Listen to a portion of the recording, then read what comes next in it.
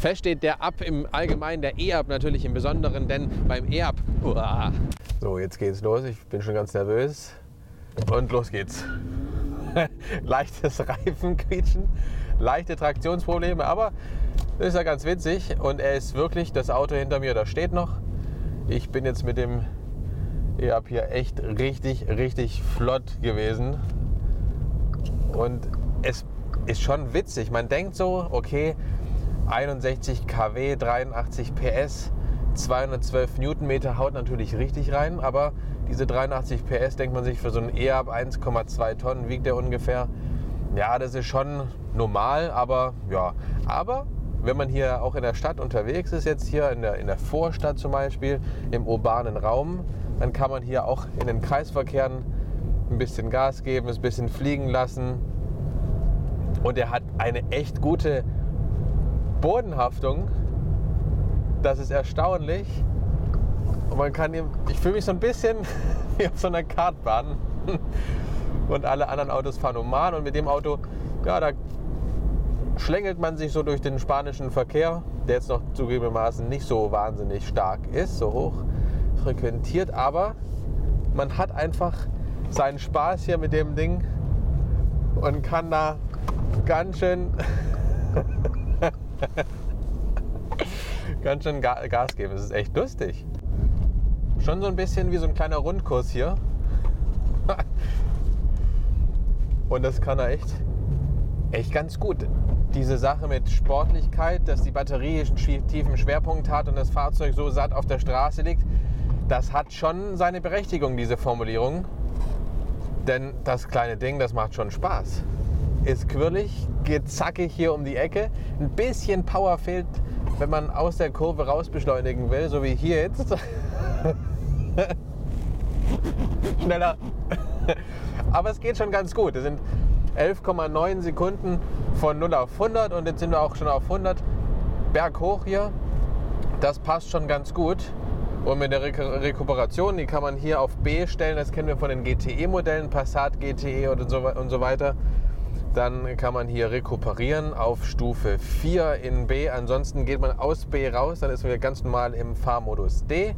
Und dann kann man mit rechts und links, also genau andersrum, links-rechts-Schwäche, kann man die Stufen verstellen. Das heißt, man kann Stufe 2 einstellen, Stufe 3 und noch dann einmal ziehen. Dann sind wir auf Stufe 4 und dann kann ich vom Gaspedal gehen und dann rekuperiert er maximal. Das ist ganz gut. Dann kann man dieses sogenannte One-Pedal-Driving eben anwenden hier und mit dem Gasfuß dann auch noch bremsen, wenn man dann da runter geht. Jetzt zum Beispiel bei dieser roten Ampel hier kann ich präzise hier einfach vom Gas gehen und er hält genau da, wo ich es will. Muss dann nur zum Stehen dann von den 3 km/h, die er dann rollt, noch auf die Bremse gehen ganz heiliger Boden, auf dem ich hier stehe, nämlich in Valencia am Hafen. Und der ERP hier neben mir auf der alten Formel 1 Rennstrecke in einer der spannendsten Schikanen hier, bevor es dann auf die langgezogene Links geht. Richtig, richtig cool. Ja, wir haben es ja gerade schon gesehen. Der rein elektrische ERP hier, der kann ganz schön was. 11,9 Sekunden von 0 auf 100. Aber das Maßgebliche ist tatsächlich die Zeit in der Stadt, die man braucht von 0 auf 50, von 0 auf 60. Und das ist mit den 212 Newtonmetern hier richtig spaßig. Wir haben ihn hier in der Style-Ausführung mit Style-Paket. Da kostet 23.000 Euro. Die Basisversion kostet 21.975 Euro. Wir haben hier die optional, können wir machen, mit weiß abgesetzt. Aber ganz ehrlich, das hier gleich zu Anfang sieht echt nicht gut aus. Mit den weißen Außenspiegeln, okay, das passt noch, aber man wollte hier so ein bisschen einen auf Mini machen, so ein bisschen einen auf Fiat machen, so ein bisschen individualisieren. Aber das passt alles nicht. Man sieht auch, dass am roten, das ist ja hier Costa Azul, äh Costa Azul Metallic, am roten sieht man tatsächlich, dass es da oben aussieht, als hätte man vergessen, die Lackschutzfolie abzuziehen. Und das sieht echt nicht cool aus. Am blauen ist es gerade noch so irgendwie möglich. Aber bitte, wenn Sie Ihren E-Up bestellen, dann bitte nicht so. Denn ihn gibt es mit schwarzem Dach. Das sieht richtig gut aus. Das passt auch zu der Privacy-Verglasung. Hier hinten sehen wir gleich noch. Das gibt ein bündiges Erscheinungsbild. Aber so, das bitte nicht. Ja, ganz zu aller Anfang. Wir haben mit den E-Up und dazu ein herzliches Willkommen hier bei automotiv.de. Mein Name ist Benjamin. Den E-Up, den erkennen wir ganz gleich und ganz sofort an diesem blauen Band hier. Das sieht selbst mit dieser blauen Außenlackierung ganz ordentlich aus. In Rot sieht auch ganz gut aus, aber natürlich in Weiß kommt dieses Blau des, der typischen Elektrifizierungsmodelle von Volkswagen natürlich noch am besten zur Geltung. Ein neues Volkswagen-Logo hier in der Mitte, das sieht echt gut aus. Das ist dieses 2D, hat eine Menge Geld gekostet, sieht hier auf diesem Fahrzeug ganz gut aus in 2D, aber das alte Logo, naja, das war dann doch ein bisschen noch besser. Ja, wir haben dann unten, da sieht man diese typische C-Signatur, das sieht man gleich, dass es der E-Up ist, dass es ein elektrifiziertes Modell zumindest ist. Der normale Up, der hat ja diese C-Signatur hier nicht in Voll-LED, sondern der hat dann ganz normale Nebelleuchten oder auch gar nichts, wenn man ihn in der Basis bestellt. Ja, ansonsten ist ja alles gleich wie beim normalen Up auch. Wir haben hier Wabenmuster, das heißt nicht, dass wir ein GTI haben, leider nicht, aber trotzdem verzichtet Volkswagen nicht auf diese leicht sportlichen Noten. Auch dieses Wabenmuster, auch wenn es ein bisschen größer ist, in etwas anderer Optik als beim GTI, aber immerhin haben wir Wabenmuster und diese blaue Zierleiste, genau. Und wir haben leider inkonsequenterweise inkonsequenterweise keine LED-Scheinwerfer hier vorne, sondern die ganz normalen H7-Birnen. Das ist äh, selbst das Blinklicht hier ist mit einer ganz normalen Glühlampe.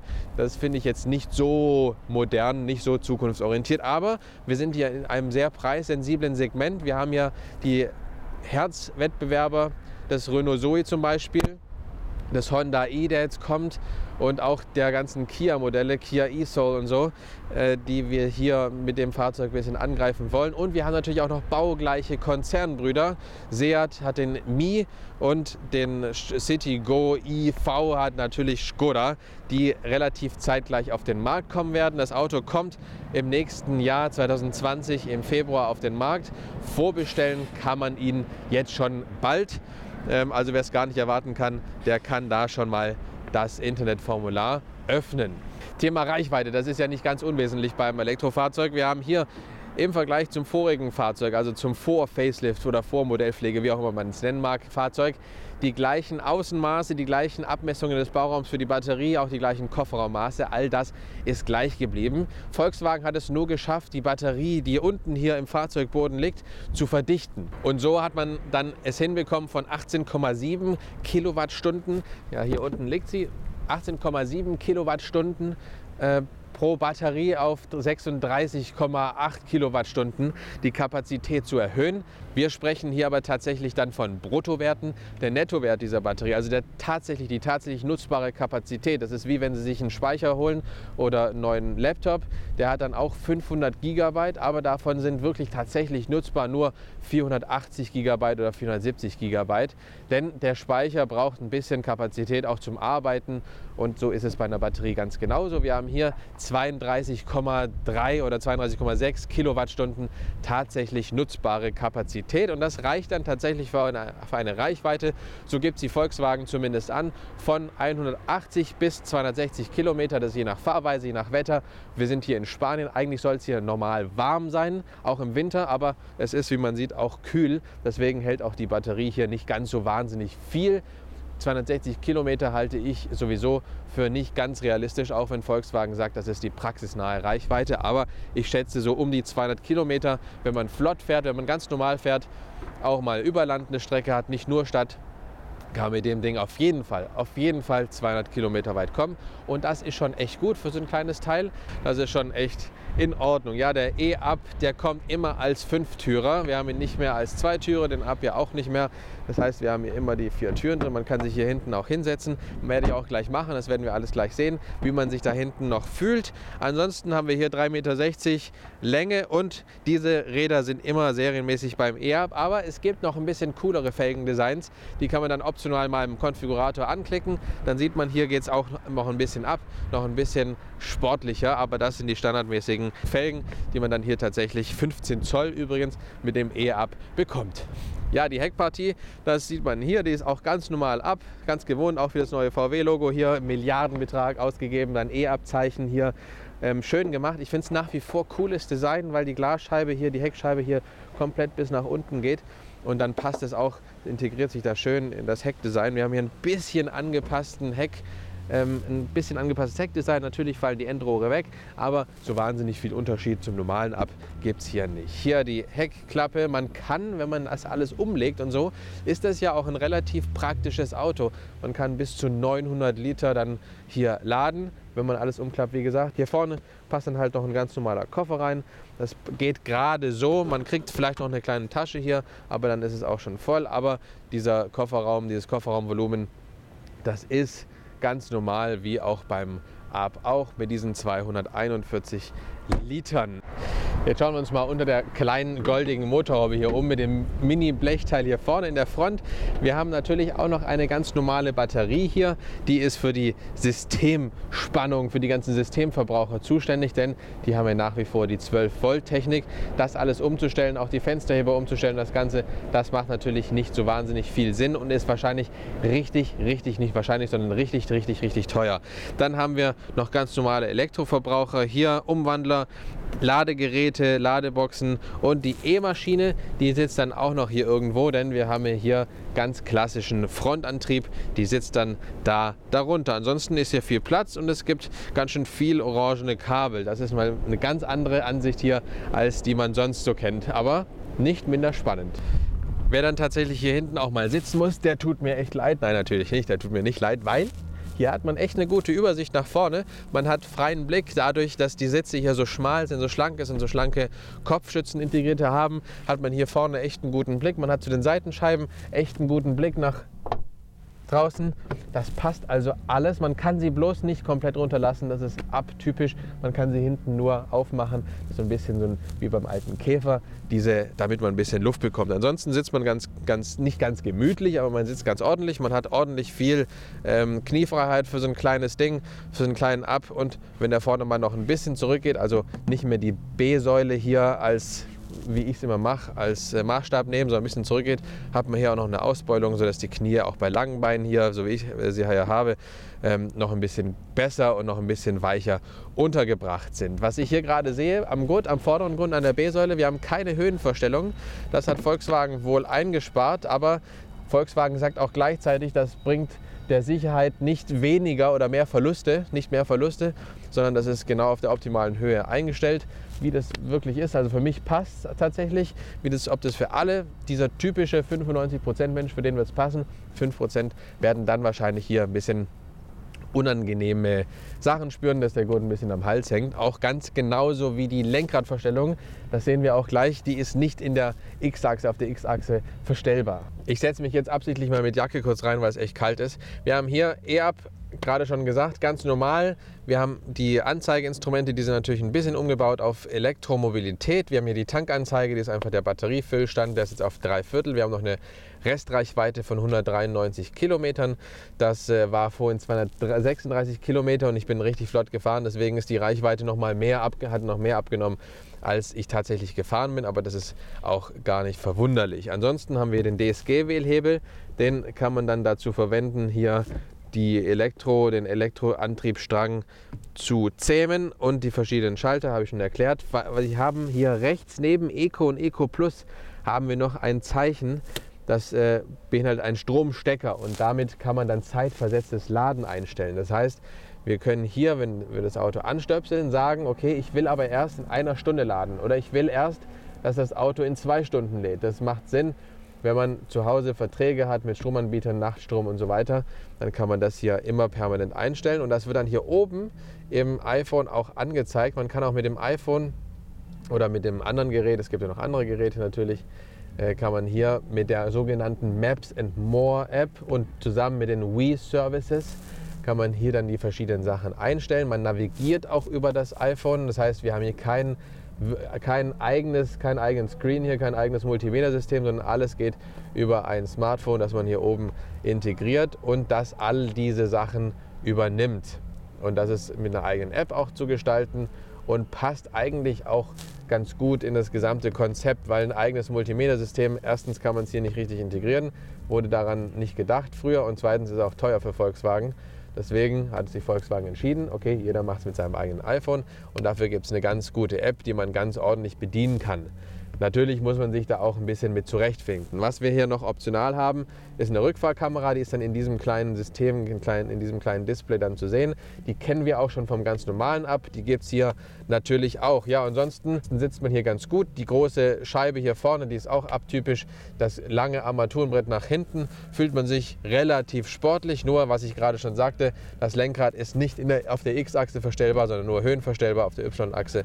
Das heißt, man kann es nicht an sich ranziehen und noch sportlicher damit fahren. Aber in dieser Klasse, in dieser Fahrzeugklasse ist das natürlich auch nicht so wahnsinnig notwendig. Man kommt dann schon ganz gut damit zurecht. Wir haben, oder ich habe jetzt, als ich eingestiegen bin, eine Reichweite von 236 Kilometern hier auf der Uhr gehabt. Die Batterie war voll geladen, aber meine Vorgänger gestern sind natürlich wahrscheinlich auch so ähnlich gefahren wie ich, natürlich nicht ganz so straff, ganz so sportlich nehme ich mal an. Und deswegen rechnet der Bordcomputer mit dem Verbrauch natürlich von gestern. Das haben wir bei konventionell angetriebenen Fahrzeugen ganz genauso. Deswegen stehen da nicht diese 260 Kilometer drauf, die er ja eigentlich kann, praxisnahe Reichweite, so wie es Volkswagen ja auch nennt, sondern es stehen dann eben diese 236 Kilometer auf der Uhr.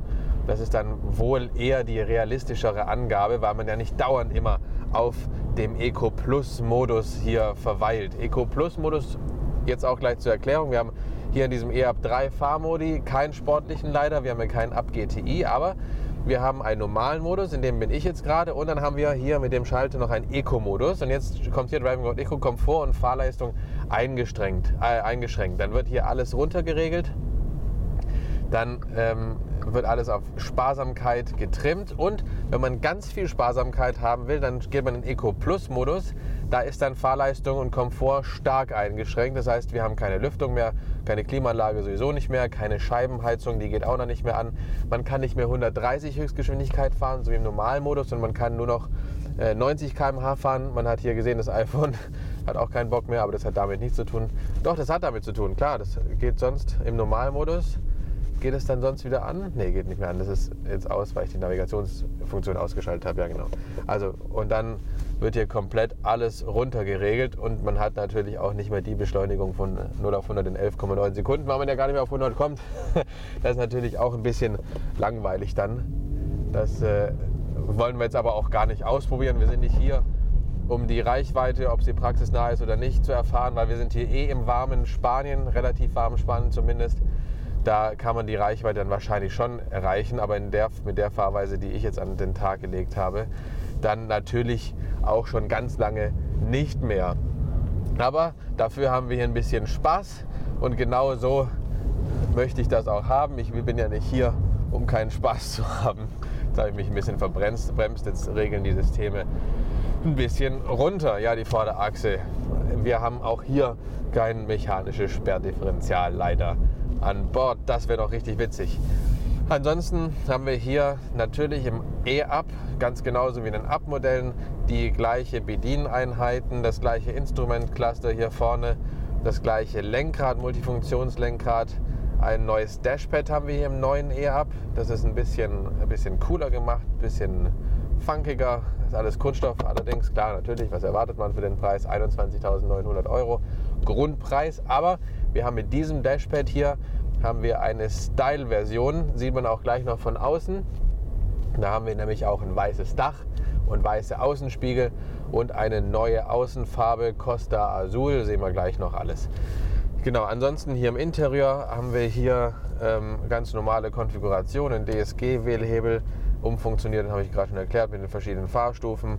Ansonsten haben wir hier ganz normal ab keine wahnsinnigen großen Veränderungen mehr. Die Präzision vom Lenkrad, weil wir gerade auch schon fahren, die Präzision vom Lenkrad, die ist gut und ich bin immer wieder überrascht über dieses knackige, sofort anstehende Drehmoment, was einen dann mal kurz in dieser Stadt nach vorne katapultiert. Das ist echt witzig. Optional gibt es hier einen E-Sound, den hört man auch immer auch hier drin, den hört man auch von außen. Natürlich haben Fahrzeuge, ähm, die zugelassen sind ab Juli, also homologiert werden ab Juli 2019, das war also schon vor ein paar Monaten, müssen serienmäßig einen E-Sound haben, so dass die Fußgänger, wenn man irgendwo fährt, immer gewarnt sind. Ähm, das Auto ist zwar ein, wird als neuer E-Up verkauft, ist natürlich nicht neu. Das äh, Auto gab es ja schon zuvor, der E-Up. Ähm, das heißt, wir haben hier quasi neuere Sachen drin, also neue Batterie, mehr Batteriezellendichte von 18, das sind diese 18,6 Kilowattstunden, die wir früher beim E-Up haben. Jetzt haben wir hier 36, irgendwas Kilowattstunden, aber die Bruttokapazität und die Nettokapazität, die ist dann nochmal niedriger. Da haben wir dann 32, es wurde alles verdichtet. Also haben wir hier schon neue Sachen gemacht, neue Abstimmungen und so. Aber es ist immer noch der alte E-Up und deswegen haben wir hier einen E-Sound optional und nicht Pflicht, verpflichtend. Das spart sich Volkswagen noch auf, weil die Homologation, die offizielle dieses Fahrzeugs, ja schon deutlich vor 2019 war, war glaube ich Ende 2017 oder so. Deswegen haben wir hier den E-Sound optional, der kostet irgendwas mit 190 Euro, wird ein- und ausgefadet. Ab 5 km/h bis 22 km/h ist er an, dann wird er ausgefadet, weil dann die Reifengeräusche einfach zu und die Windgeräusche zu laut werden, dann wird der Sound übertönt und er geht dann wieder an, auch beim Rückwärtsfahren und so weiter. Und so dass man auch das Auto hier hört, denn es hat ja sonst keinen eigenen Sound mehr.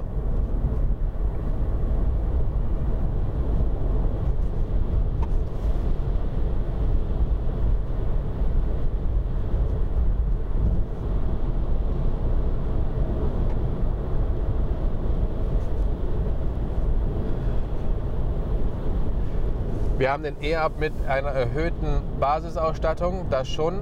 Er ist ja auch nicht ganz günstig mit seinem im Style-Paket jetzt 23.000 Euro. Wir haben jetzt zum Beispiel, sieht man auch, das ist äh, relativ offensichtlich gemacht, die Frontscheibenheizung mit ihren Drähten durch. Muss man sich dran gewöhnen, denn man hat immer so leichte Drähte vorm Auge. Ähm, aber natürlich, sie hilft im Winter und so bei vereister Scheibe ist das schon ganz gut. Die kann man aktivieren hier mit dem Schalter hier. Wenn man den aktiviert, dann hört man auch das Relais hier. So laut und so ein wenig eingepackt ist das Relais hier an der Seite, ähm, dass man das gleich auch hört, wenn man es anschaltet. Total witzig. Ansonsten haben wir hier auch einen Spur, ähm, muss ich ganz genau aufpassen, Spurverlassenswarner, also kein Warner, der akustisch warnt, sondern leichte Lenkeingriffe hat. Es ist kein Spurhalteassistent in dem Sinne, wie wir ihn kennen, optional von anderen Modellen, sondern er korrigiert nur leicht beim Verlassen der Spur und lenkt aber dann auch leicht, wie gesagt, mit, aber greift nicht stark ein. Den haben wir hier in diesem Auto serienmäßig. Muss man auch, wenn man eine gewisse Punkteanzahl im Euro NCAP Crashtest erreichen will. Ansonsten serienmäßig haben wir hier im Style-Paket diese Color and Trim Sachen hier, das Dashpad und die Sitze. Man sitzt hier auf Stoffsitzen im Rautenmuster. Das ist ganz gut. Die fühlen sich robust an und gleichzeitig auch ähm, angenehm. Und wir haben vor allem hier keine abgesetzten Kopfstützen, sondern eine, einen Sitz aus einem Guss. Und das mag ich ja sowieso. Das finde ich ja echt cool. Das ist ähnlich wie beim GTI. Ähm, da kann man sich echt wohlfühlen. Ja, ansonsten mit diesem Auto, das ist natürlich das perfekte Stadtauto. Das merkt man auch hier mit 3,60 Meter Länge. Da hat man natürlich nicht viel, was man unterbringen muss beim Einparken.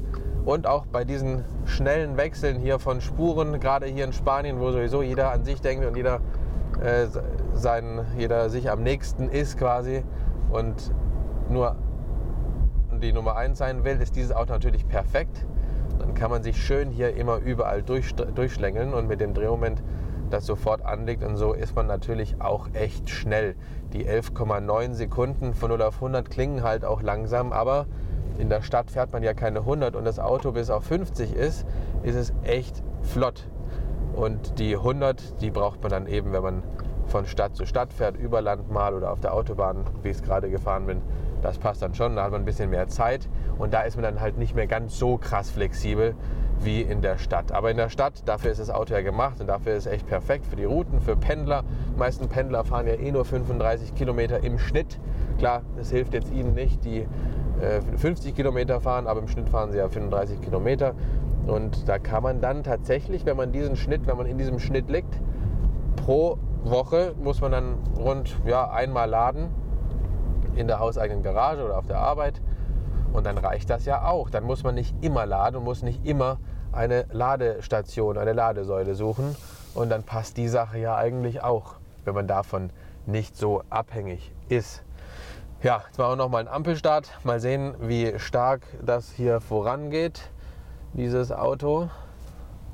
So, ist Ampelstart und ein bisschen durchdrehende Räder wieder vorne. Und jetzt haben wir schon die 50 erreicht. Also das war echt kein großes Ding. Das kann man echt für sehr sportlich, als sehr sportlich beschreiben. Echt gut, echt witzig. Man merkt auch das Gewicht nicht. Die Batterie wiegt nochmal zusätzlich 248 Kilogramm. Das ist natürlich ein ganz schöner Batzen. Und was man hier natürlich auch hat, die Energiedichte einer Batterie oder der Energiegehalt, der entspricht natürlich niemals dem eines äh, konventionell angetriebenen Fahrzeugs mit Diesel zum Beispiel. Der Up im Allgemeinen und der E-Up im Besonderen, weil natürlich das Elektrokonzept deutlich besser auf einen Up passt als das konventionelle Konzept mit dem konventionellen Motor mittlerweile. Der ist schon richtig, richtig gut. Das passt alles gut zusammen, denn wir haben hier, finde ich, die beste Symbiose aus Reichweite, aus Bauraum, aus Praktikabilität, Alltagstauglichkeit und aus Optik und aus Preis, die momentan möglich ist, finde ich ähm, hier mit diesen 260 Kilometern praxisnahe Reichweite. Ähm, ich sage 220 Kilometer oder 200 Kilometer auf jeden Fall, dass man das schafft. Ähm, dann mit diesem 3,60 Meter quirligen Stadtauto mit der Leistung hier von ähm, 83 PS und 212 Newtonmeter Drehmoment und so, ist man schon echt schnell in der Stadt. Und das macht zum einen Laune, das macht zum anderen natürlich äh, Zufriedenheit, weil man hier auch nicht so viel zahlen muss beim Laden, noch nicht zumindest, weil die Strompreise sind wir gerade bei 30, 31, 32 Cent so im Schnitt in Deutschland. Die sind für eine Tankfüllung, wenn man es mal hochrechnet, hier mit der Kapazität von 32,6 Kilowattstunden der Batterie, sind wir so bei 9,50 Euro, 9,60 Euro, die man hier ausgibt für eine Ladung. Nur, dass man mal das ins Verhältnis gesetzt hat. Und das ist noch relativ günstig im Vergleich zumindest zu einem konventionell angetriebenen ab, der natürlich dann wieder günstiger ist im Einstiegspreis, deutlich günstiger, aber dafür fährt man hier dann eben rein elektrisch und hat alle Vorteile, die es mit sich bringt. Natürlich auch alle Nachteile hier. Natürlich ist im Winter dieses Auto, da bin ich gespannt, wie sich das im Winter verhält bei Schnee, Eis. Wir haben ja hier trotzdem die Frontscheibenheizung, die Drähte, die hier eingebaut sind. Da ist dann auch die Frontscheibe schnell warm und schnell klar, aber wir haben natürlich auch die Nachteile, die ein Elektroauto mit sich bringt, die entsprechenden.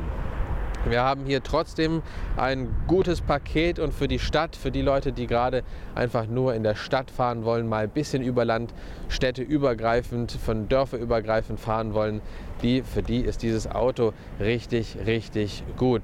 Thema Laden. Natürlich kann man das Auto auch schnell laden mit 40 Kilowatt Ladeleistung an den Schnellladestationen dann ist man da von 0 auf 80 Prozent in rund einer Stunde dann auch wieder fertig. Ab 80 Prozent wird ja die Ladeleistung deutlich stärker gedrosselt, als es von 0 bis 80 Prozent der Fall ist, allein um die Batterie zu schonen. Natürlich kann man das Auto auch an Haus, am Haushalt, an der Haushaltssteckdose laden. Dann dauert es natürlich mehrere, mehrere Stunden, ganz schön viele Stunden. Das sind dann diese 2,3 Kilowatt Ladeleistung oder man hat auch ein bisschen Starkstrom dann zu Hause, mit, zum Beispiel mit der Ladesäule, die man dann von Elli von dem Naturstromanbieter, Tochterfirma von Volkswagen, die man dann da anbringen kann in seiner Garage. Dann hat man so ungefähr sieben Stunden, die es braucht, das Auto hier voll zu laden. Aber wenn man das gut integriert in seinen Tagesablauf, wenn man das gut integriert in die Nacht zum Beispiel, dann muss man sich halt ein bisschen umstellen und dann wird das auch funktionieren. Dann ist auch das kein Problem und muss auch nicht mehr vollladen. Das heißt, diese ähm, dieser Anspruch, man muss immer ein neues und ein voll aufgeladenes Auto haben, den hat man dann bei diesem Auto nicht bei dieser Art von äh, Mobilität. Da muss man sich dann halt auch ein bisschen umgewöhnen. Wer dazu bereit ist, der hat damit auf jeden Fall Freude. Wer dazu nicht so bereit ist, der hat damit natürlich auch nicht so wahnsinnig viel Freude dann, weil das Laden ist dann schon noch ein bisschen ein leidiges Thema. Ja, damit vielen Dank fürs Zuschauen. Wir sehen uns dann beim nächsten Mal, wenn Sie unten auch abonnieren und dann freue ich mich.